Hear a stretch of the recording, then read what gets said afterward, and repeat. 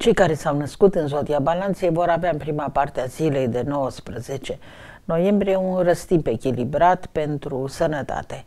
Evoluția lor, din punct de vedere fizic și psihic, va fi normală, ba poate pe alocuri străbătută de fiorii pozitivi ai influenței planetei Jupiter, care le va da chef de viață, poftă de mâncare, dorință de a se bucura de gusturi, mirosuri, senzații plăcute pe care și le vor putea provoca sau cumpăra, să gătească bine sau să se ducă într-un loc în care să mănânce ceva ce nu se mănâncă în mod obișnuit în bucătăria domestică. Ceva care ține de un restaurant, de un stil, de un preparat, de o anume elaborare care lor le face plăcere, dar pe care nu și-o pot procura cu propriile resurse.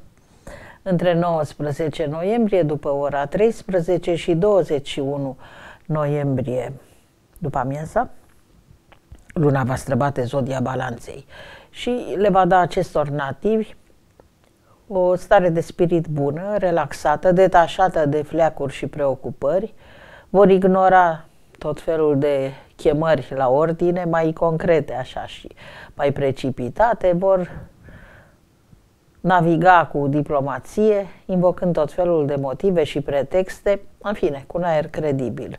Principalul este să-și menajeze zona lor de confort și un răstimp care să le permită să trăiască așa cum simt sau presimt de pe urma acestui influx astral.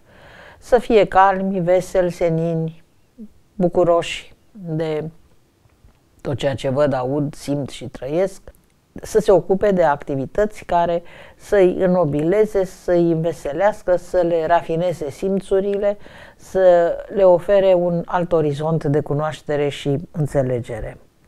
Uneori toată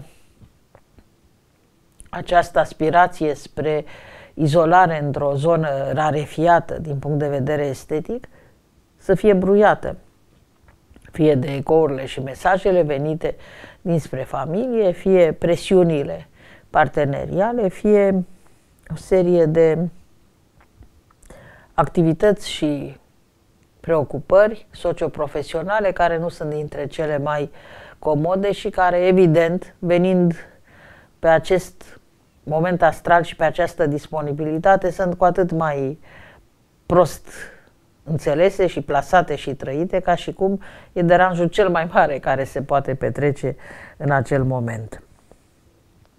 Între 21 noiembrie, după ora 19 și 23 noiembrie seara, mecanisme financiare în nota obișnuită, cu aceleași gânduri, preocupări, nemulțumiri.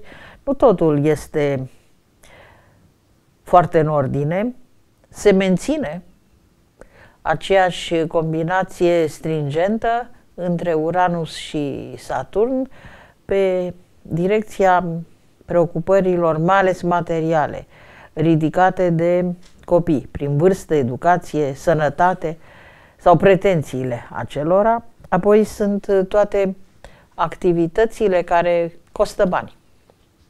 Unele plăceri pe care și le doresc în mod special nu sunt chiar atât de ieftine sau nu sunt ei în stare să facă acele cheltuieli și atunci fac efortul să le obțină. Nu renunță la ele, nu le sacrifică, în schimb sacrifică altceva, de exemplu un obiect din casă.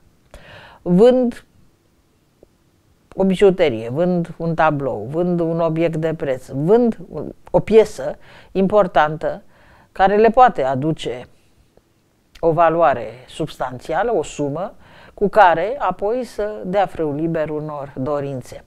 Uneori poate fi vorba de o activitate de creație artistică și atunci e un soi de investiție. Tot ceea ce cumpără este pentru a permite aceste activități să se desfășoare în cele mai bune condiții. Ziua de 22 noiembrie, soarele va intra în zodia săgetătorului și le va da acestor nativi o stare de spirit uh, specială, un soi de efervescență, de tremolo, de nerăbdare, de agitație, să afle, să știe, să vadă, să fie prezenți, să fie peste tot, să fie la zi, să nu le scape nimic, să se întâlnească cu toată lumea, să citească tot, să vadă dacă asta le face plăcere, toate emisiunile și pe cele pe care le scapă să se programeze să le vadă în reluare, adică e nevoia de a acoperi o plajă largă de informații care vin pe toate căile. În principal, uh, cele, să zicem, oficiale, dacă presa poate fi o informație oficială sau lumea artelor și a spectacolului, nevoie de a se deplasa, de a călători, de a se plimba, de a schimba peisajul, de a se întâlni cu alți oameni, de a avea alte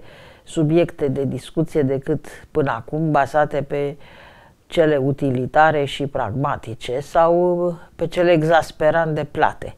Vor lucruri care să-i scoată din o stare de spirit blazată. Vor să se mire, să se uimească, să tresare, să se emoționeze. Este o preocupare pentru un univers interior pe care până la un punct și-o pot oferi cu propriile lor capacități. De exemplu, să fac o excursie, o călătorie, o vizită, să meargă la un spectacol, să se înscrie la un curs, să se întâlnească cu niște persoane deosebite prin valoare personală și statut public. Alteori însă vor fi obligați să se adreseze unor organizații, instituții care le oferă o paletă largă de manifestări la care îi să adere, să participe, să se implice, să fie doar spectatori, să fie și puțin actori. Toate acestea creează o stare de spirit tinerească, cum spuneam adineaur, efervescență, ceva ce nu este în tiparul vârstei a treia, dar pentru care vârsta a treia nu se dă deoparte. Toate vârstele sunt uh, implicate în acest uh, tipar astral care se construiește odată cu intrarea soarelui în casa a treia, tipar care va dura până pe 21 decembrie. Pe 24 noiembrie, tot în acest sector, se va petrece faza de lună nouă însăgetător, care va mai aduce un accent, alt tip de accent, altă atitudine, altă viziune, alt tip de abordare a vieții și activității. E o nuanță ușor utopică, ridică foarte sus ștacheta aspirațiilor și dorințelor. Nu se mulțumesc cu puțin, nu se mulțumesc cu orice, au spirit critic și doresc să progreseze prin tot ceea ce fac. Un lucru minunat altfel. Sunt exigenți cu întreaga lor existență, dar sunt exigenți și cu ceea ce ei pot să onoreze. Nici ei nu vor să se mulțumească cu puțin sau cu banalități și în acest efort de progres și de șlefuire este o condiție și a fericirilor. Acesta este și specificul răstimpului cuprins între 23 și 25 noiembrie, timp în care luna, cum vă spuneam, va străbate casa a treia a conversațiilor, cunoștințelor și deplasărilor de scurtă durată sau a întâlnirilor oficiale în contexte organizate, coordonate de către cineva. O ședință, un coloviu, un congres, o întrunire. Bun.